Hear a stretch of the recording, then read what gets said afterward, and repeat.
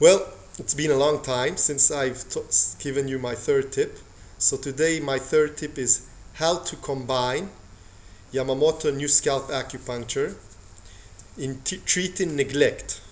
Neglect occurs when a patient has some type of damage to one hemisphere of the brain.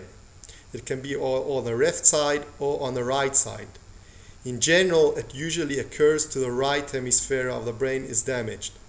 And the symptoms that will occur, the patient will not acknowledge any external stimulations coming from the left side. This, so he will not acknowledge walls or sounds or any bumps in the floor or any light coming from that side.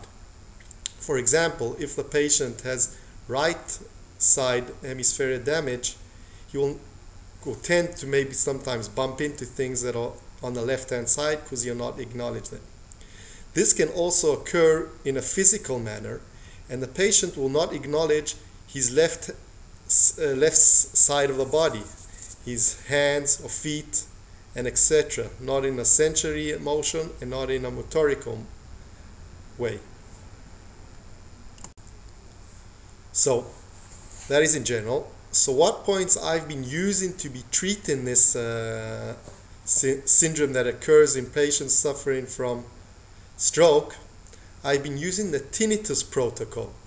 I found the tinnitus protocol, which was originally developed to treat tinnitus or any ear uh, syndromes or any ear symptoms such as pain, uh, blocked ears, liquids in the ears, or even a or the high pitch or the low pitch tin- tinnitus. And I've been started to use it in our rehabilitation center in treating patients with neglect, and we are getting great effect, great improvement in the patients.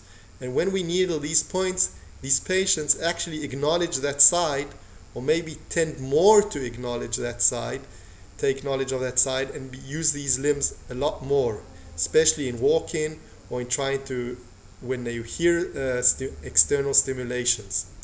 So if you look at the video just below, you will see the location of the points. You will see a video of the location of the points.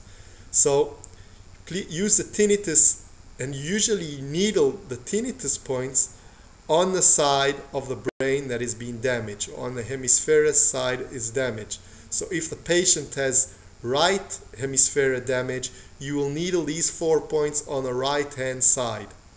So I hope you will use these points and I hope you will found them very useful in treating patients suffering from neglect. Have a good week. See you all.